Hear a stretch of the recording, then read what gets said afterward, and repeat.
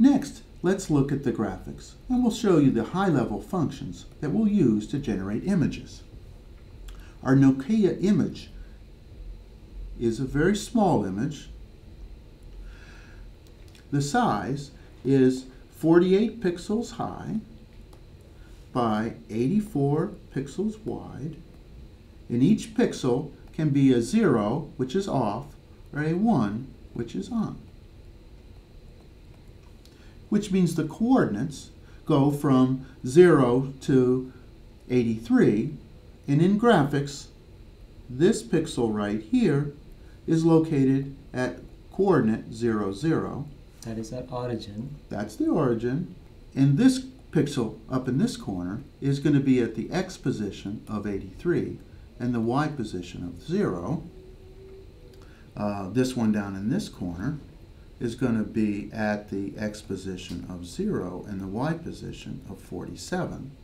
And this, this corner will be at 83, 47.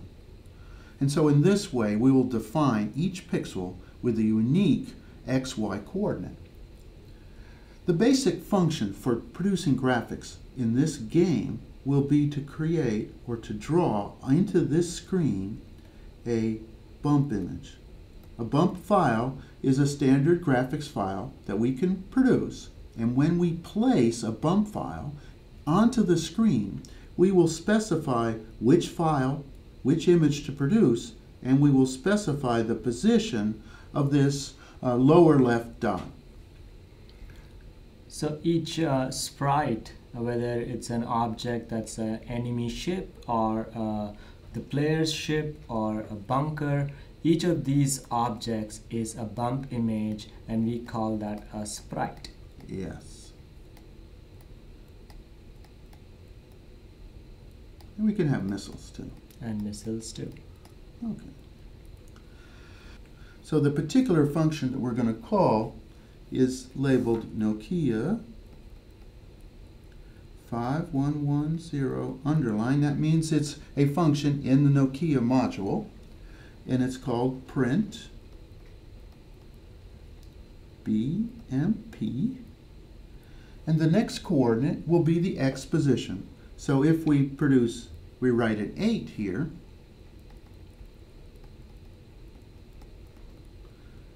then the x position of the lower left corner of the bump will be 8. And if we put it at 47, then the y coordinate here will be at 47. That'll be the bottom row. The next parameter of this function is the pointer to the image itself. And we'll see that there are lots of images uh, drawn for us. The player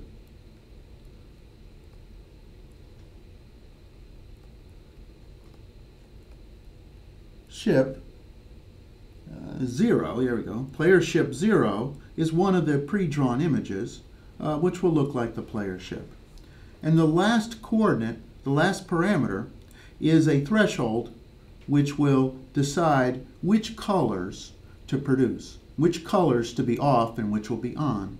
And so if we produce a 0 in this, then any color which is 0 will be off, and any color which will be 1 to 15 will actually turn on the pixel. This will be a, this is a threshold. Because our bump images are going to be 4-bit color. And we only have a 1-bit display. So if this display were a color display, then you could change the threshold and render a color sprite in the same place. Excellent. Hmm. So John, uh, it looks like the print BMP, from what I understand, is going to change a virtual image and not the actual physical image. It seems like there is another routine called the Nokia 5110 display buffer. and this routine will be the one that actually displays the screen, the entire screen onto the onto the Nokia device. There's a third one. The Nokia 5110 underline clear buffer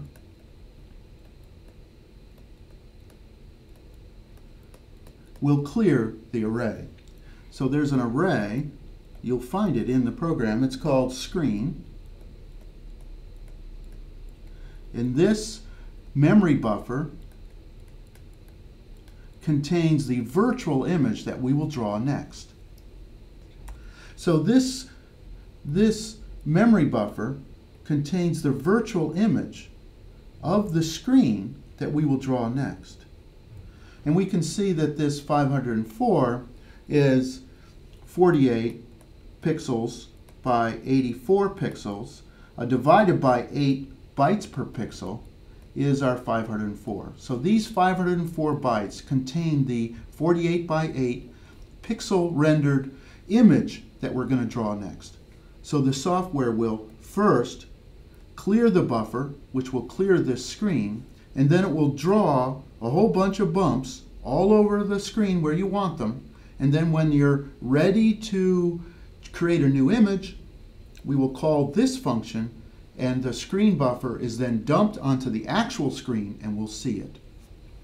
This is the element that we're going to call 30 times a second.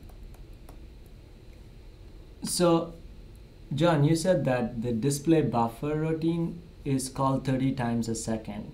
Um, the way we describe the flowchart, the display buffer is called in the main. So if I'm displaying in the main, the main was not an interrupt driven one. So how is it 30 hertz? It will be 30 hertz because we will send a flag or a semaphore from the interrupt service routine into the main to say, draw me a new picture. So that's how we'll make it to be 30 hertz. The other question is, why is it 30 hertz? If we make it a lot slower than 30 hertz, like 10 hertz or 5 hertz, the display will flicker. And if we make it a lot faster than 30 hertz, we're essentially wasting time because our eyes can't see that difference. That sounds perfect. All right.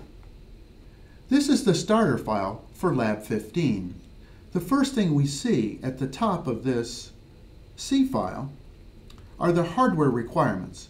These are the specific connections you must make in order for us to be able to share your game with other students.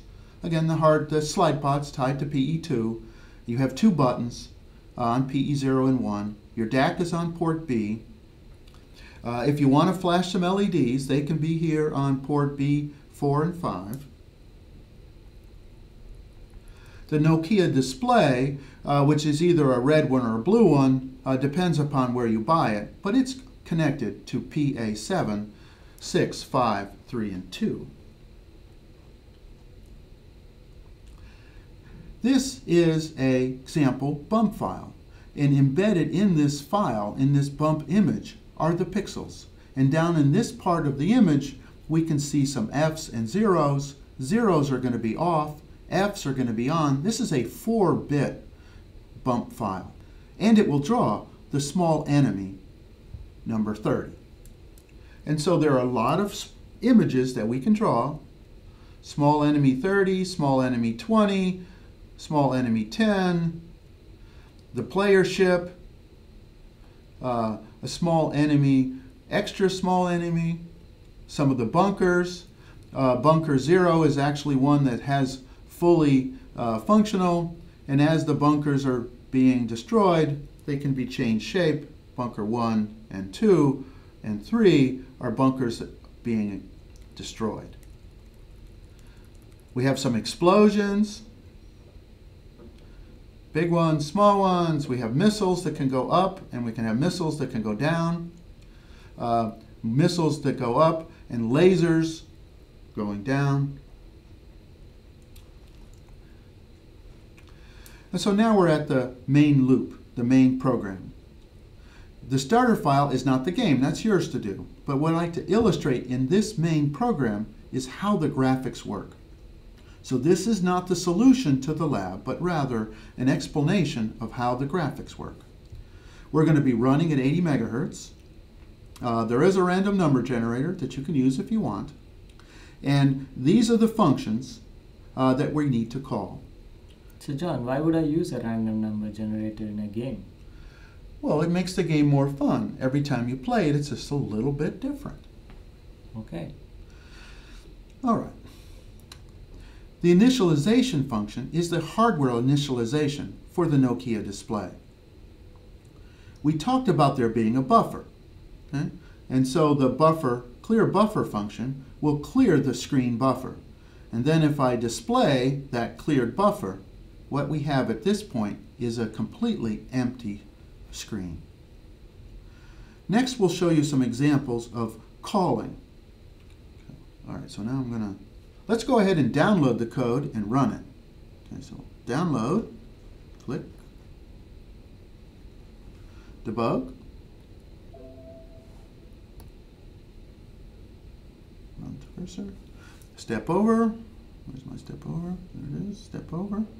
We're running now at 80 megahertz, the random number generator is initialized, the hardware for the Nokia is initialized. Uh, notice the screen has some displays from last time I ran it.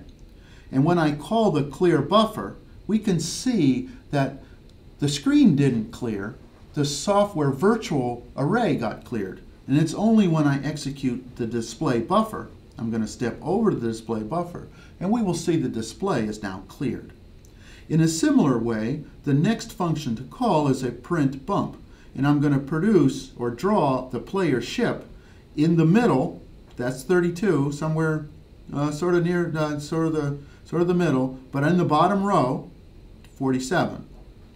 Okay, so I'm going to execute this function, and again, you notice the display didn't change. And that's because I just drew that bump into the virtual variable, the virtual array. So we'll draw a, uh, a bunker, step over, draw my bunker, uh, draw a bunch of enemies. Here I'm going to draw a bunch of enemies. Uh, I'm going to put them on the top row. Uh, a bunch of different enemies. Step over, step over, step over. Again, nothing happens until I hit which. John, can you pause there? Yeah. I want to take a look at what what you're passing as the second parameter to a print BMP. Okay. Okay, here I'm going to draw an enemy. 64 is pretty much over towards the right-hand side of the screen. This uh, define function will tell me how high the enemy is. And so, as you can see, this enemy is 10 pixels high. So 10 minus 1 is 9. And if I put him in the Y position of 9, and he's 10 high, this will be exactly on the top. So he is as high as he can go onto the screen. And the third parameter is our, our uh, array that contains the bump. Yes, this is a, a, an array stored in ROM which contains the bump image. And the last parameter is the threshold. A zero will show up as off, and any number bigger than zero will show up as an on. Okay, now we're ready to display the Yeah, bump. come on, let's see what it looks like. Okay, step over. Okay. And we see the image that was created by these um, seven calls to the print bump is now shown on the screen. So there are three different kinds of, uh, of enemy ships, a bunker, and the player. Absolutely. Now, no game yet, that's your job. Uh, this function for the starter file is just going to wait five seconds. Let's show you another feature of the graphics driver, and that is to do character output. The clear function is a function which will clear the screen. Uh, and then if you want to output characters or numbers to the screen, we can set the cursor uh, in the row column location, step over, and then draw uh, characters to the screen. So it's in a, it's in row number one, column one, and it draw and it output the screen, and it output the string. Step over, step over, step over, step over, step over. And down here, this could be your score. As you can see, I don't have any score. 1,234 points. All right. So in in summary, what we saw in the starter file and what the description before is that there's a screen buffer and a virtual buffer. We we clear the buffer, which is clearing the buffer that is our screen, and then we have a display buffer which will render it. So the first thing we did is cleared it, then displayed an empty buffer, and then we added a bunch of bumps to the screen buffer and eventually when we were done with adding all the bumps we displayed this buffer and once we did that we delayed for a little bit of time and then and then went on to show a, a text message on the screen by calling these functions called set cursor, outstring, and uh, outDec. All right. So now you have all the elements for for building it, except we need to look at a, a timer module, which is very similar to the SysTick, but we'll go through the details of that. Okay.